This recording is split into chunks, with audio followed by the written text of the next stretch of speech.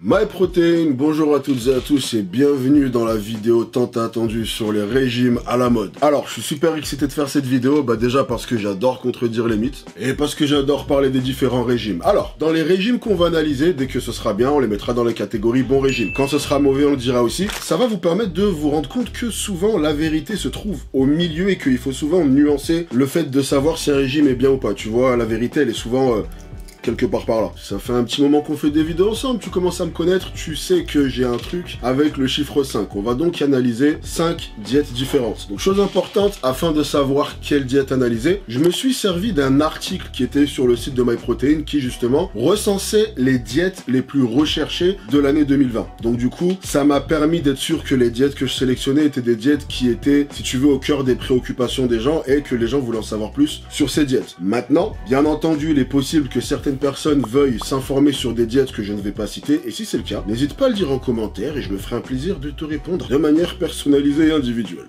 Donc rentrons dans le vif du sujet numéro 1, la diète cétogène. Donc comment faire un classement des diètes les plus recherchées de l'année et ne pas parler de la diète cétogène? On va dire que la diète cétogène c'est un peu la superstar des diètes, d'accord? Surtout sur l'année qui vient de s'écouler, c'est vraiment une diète dont beaucoup de gens ont parlé, que beaucoup de gens ont décidé d'essayer, c'est relativement mal compris mais très mis en avant. Du coup, que vaut vraiment cette diète? Déjà, expliquons le principe de la diète cétogène. La diète cétogène, si tu veux, c'est une diète qui va venir réduire fortement les glucides, donc ce qu'on pourrait appeler communément les féculents, au profit certes des protéines, mais principalement au profit des lipides, des matières grasses. Donc tu vas venir consommer énormément de lipides, ce qui va venir placer ton corps dans un état qui s'appelle la cétose. Être en cétose va avoir pour conséquence de faire en sorte que ton corps consomme du gras comme source d'énergie principale. Tu vas principalement chercher ton énergie dans tes réserves de gras. Sur le papier et dit comme ça, ça paraît quand même super séduisant. Pour répondre à la question de manière simple, claire et rapide, oui, la diète cétogène marche. Ça, il n'y a aucun doute à avoir là-dessus. Les études le montrent, la pratique le montre, l'expérience le montre. Aucun souci à se faire de ce côté-là. La diète cétogène marche. Mais du coup, si on a une diète qui a pour but principal de puiser dans les réserves de gras et qui donc, par voie de conséquence, est très efficace, pourquoi est-ce que le monde entier n'est pas sous une diète cétogène et du coup tout le monde perdrait du poids et tout le monde serait heureux? Bah parce que la perfection n'existe pas et que comme beaucoup de choses qui paraissent trop belles pour être vraies, la diète cétogène s'avère avoir quelques défauts. Et le défaut numéro 1 de cette diète et qui à lui seul permet d'expliquer la raison pour laquelle très très peu de gens arrivent à adhérer à cette diète, c'est tout simplement la difficulté que l'on va avoir à la suivre. Pourquoi? En venant quasiment supprimer un groupe entier d'aliments, à savoir les glucides, on va venir créer un environnement qui est très très restrictif, qui sur le long terme est tout simplement inenvisageable pour la plupart des gens. Beaucoup de gens peuvent également ressentir un bouleversement suite à cette diète, le plus connu étant ce qu'on appelle le keto flu, qui est pour vulgariser un phénomène dans lequel les gens vont ressentir des symptômes qui sont semblables à une grippe. Donc voilà les pour et les contre. De manière générale, je n'ai jamais été un grand fan du fait de venir supprimer un groupe d'aliments entiers, hormis intolérance. Pour moi, une diète cétogène à la rigueur sur le court terme, pour avoir une perte de poids rapide au début d'un point de vue motivation, ça peut avoir du sens si c'est bien fait, ce qui est rarement le cas. Mais pour le long terme, c'est pas spécialement une diète que je vais venir recommander à quelqu'un. Et pour ce qui est des gens à qui je la recommanderais, ça serait principalement des gens qui d'une part réagissent relativement bien aux lipides vu que c'est le groupe alimentaire qu'on va avoir en prédominance. D'autre part, chose très importante, c'est une diète que je recommanderais principalement à un public qui a déjà une forte expérience en termes de diète, qui a déjà suivi des diètes et qui a réussi à les tenir, d'accord? Si quelqu'un n'a pas vraiment l'habitude de se restreindre d'un point de vue alimentaire, c'est peut-être pas la meilleure diète à essayer de faire. Diète numéro 2, le jeûne intermittent.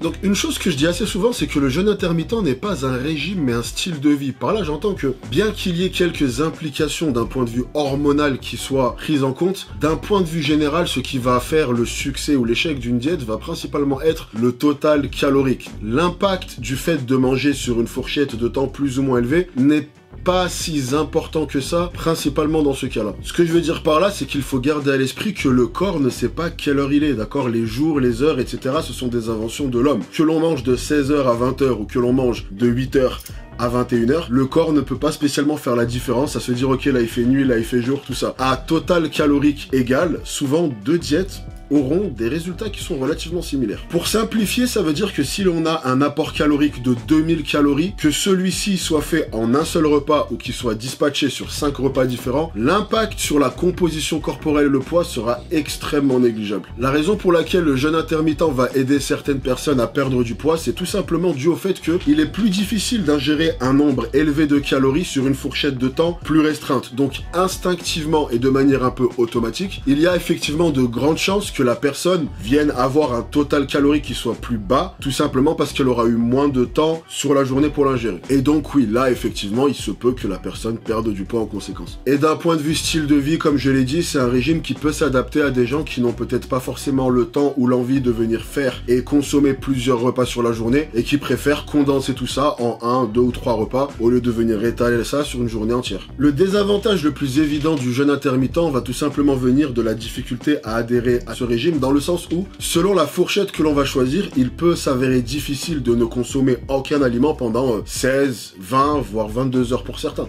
Donc pour conclure sur le jeûne intermittent, c'est assez paradoxal dans le sens où je le mets pas réellement dans la catégorie régime, mais effectivement le fait de venir faire un jeûne peut, pour les raisons qu'on a vues précédemment, aider certaines personnes à perdre du poids, tout en sachant que je ne vois pas réellement d'implication néfaste d'un point de vue santé. Donc si la personne se sent à l'aise et arrive à avoir son total calorique avec moins de repas et sur une fourchette plus réduite, j'ai envie de te dire, fais-toi plaisir. Diète numéro 3, le régime du camp. Alors le régime du camp, on va dire que ça a été un peu la, la superstar des régimes pendant plusieurs années. Puis euh, il a un peu perdu de son prestige dans les années récentes et il a finalement fini par être pas mal décrié et ce à juste titre. Donc le principe simple de ce régime, c'est tout simplement que là on a affaire à un régime qui est hyper protéiné. Donc comme son nom l'indique, on va venir consommer une part de protéines qui est extrêmement importante au détriment des autres groupes alimentaires, ce qui, en toute logique, va entraîner une forte perte de poids initiale qui va être due principalement à la perte de fluide, fluide que l'on va reprendre juste après, d'où le fameux effet yo-yo. Le succès de ce régime pendant plusieurs années s'explique au fait que, effectivement, au tout début, on va assister à une perte de poids qui peut être relativement spectaculaire parce qu'on perd énormément de rétention d'eau. Au-delà de ça, d'un point de vue inconvénient, les inconvénients sont super nombreux, spécifiquement d'un point de vue santé, d'accord? C'est un des régimes les plus criminels de l'histoire. Carence en vitamines et minéraux, maux de tête, fatigue,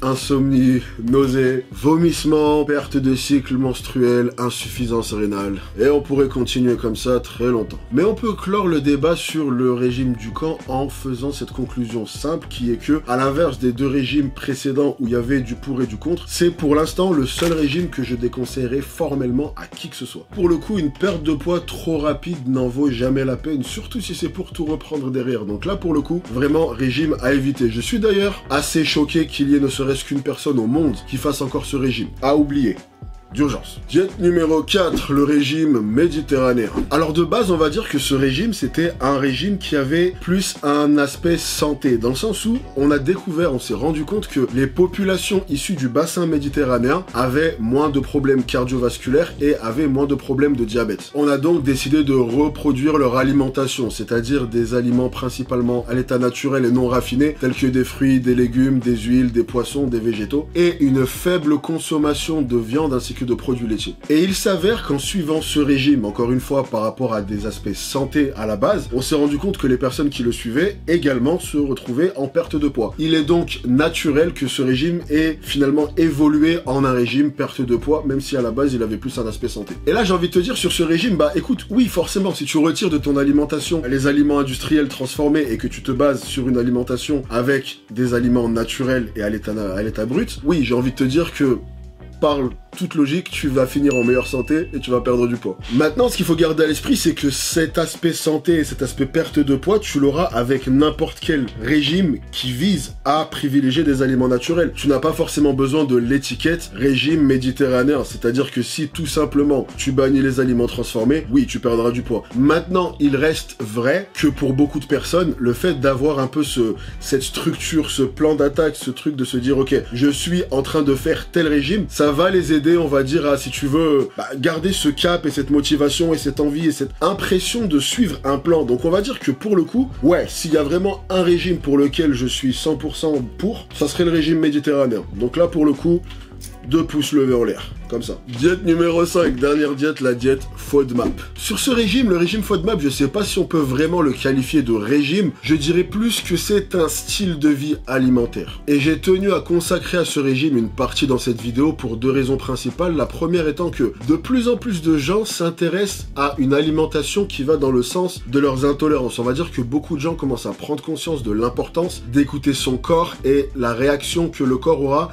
à différents types d'aliments. Et la deuxième raison également, c'est que même si ce régime gagne en popularité, chose que j'ai appris grâce à l'article dont j'ai fait référence précédemment, il reste encore relativement méconnu du grand public alors qu'il s'avère être un bon moyen de venir améliorer l'état de son transit et régler ses problèmes de poids de manière relativement facile et sécuritaire. Et oui, beaucoup de gens vont avoir du mal à perdre du poids et à côté de ça, avoir des sensations, on va dire, de ballonnement, de ventre un peu lourd, un peu gonflé. Et souvent, cet état-là va être dû à justement une intolérance à un groupe d'aliments qui s'appelle les FODMAP. Donc les FODMAP, pour résumer, c'est tout simplement un groupe de glucides qui est mal toléré par l'intestin et qui est relativement peu digeste. Donc il y en a un certain nombre, après c'est assez facile à trouver, mais on va dire que dans les grandes lignes, on va assister par exemple aux pâtes, au riz, au pain, etc. Ce genre d'aliments. Il y a pas mal d'aliments qui sont riches en FODMAP. Tout simplement marquez euh, aliments FODMAP sur Google et vous aurez la liste complète des aliments qui justement font partie de cette catégorie. Et donc pour simplifier, le principe du régime va être qu'on va venir tout simplement retirer tous les aliments susceptibles d'être problématiques et au fil du temps venir les réinsérer progressivement afin de pouvoir évaluer la tolérance, savoir exactement de manière spécifique quels aliments pose problème, ce qui fait qu'au fil du temps, on gardera toujours cet état qui fait qu'on évite les réactions négatives aux aliments, mais à côté de ça, on peut réintroduire progressivement et donc avoir plus de variété dans son alimentation. Et pour le coup, il s'avère que j'ai vu des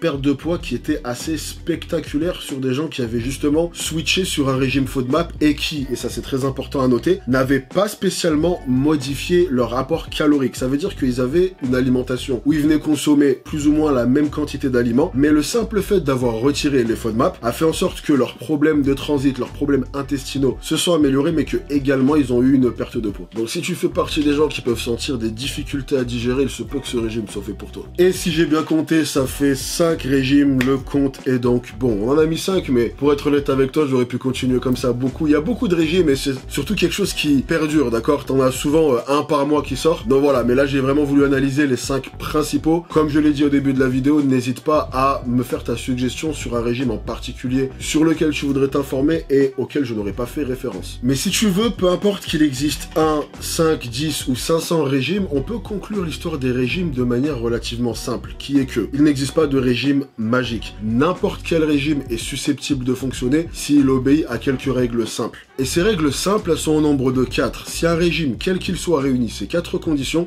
c'est un bon régime. Condition numéro 1, il ne supprime pas de groupe alimentaire entier sur le long terme. Condition numéro 2, il te permet d'être en déficit calorique si jamais ton but c'est de perdre du poids. Ou l'inverse, si ton but est d'en prendre. Condition numéro 3, il est tenable sur le long terme. Ça veut dire que tu ne le vois pas comme une contrainte et que tu prends plaisir à le suivre. Et condition numéro 4, il va venir mettre l'accent sur des aliments sains et non transformés. Si ton régime coche ces 4 cases, tu peux y aller. C'est un bon régime. Après, il y aura toujours des subtilités, des différences entre les régimes, etc. Mais voilà, si on a ça, on peut y aller, on est bon. Et sachant que ce petit test des quatre règles dont je viens de te parler est applicable sur n'importe quel régime. Les régimes dont on vient de parler, ou les régimes qui sortiront dans le futur, et crois-moi, ils seront nombreux, tu peux leur faire passer ce petit test simple. S'ils cochent les quatre cases, ça vaut le coup de l'essayer. Et voilà qui conclut notre vidéo, j'espère que la vidéo t'a plu. Pour ma part, elle m'a énormément plu. Comme je l'ai déjà dit, si tu as des suggestions ou même des questions quelconques, tu peux utiliser la case des commentaires. Je lis chaque commentaire et je réponds à toutes les questions. En attendant, on se chope sur une prochaine vidéo. D'ici là, la team, ne lâchez rien. Peace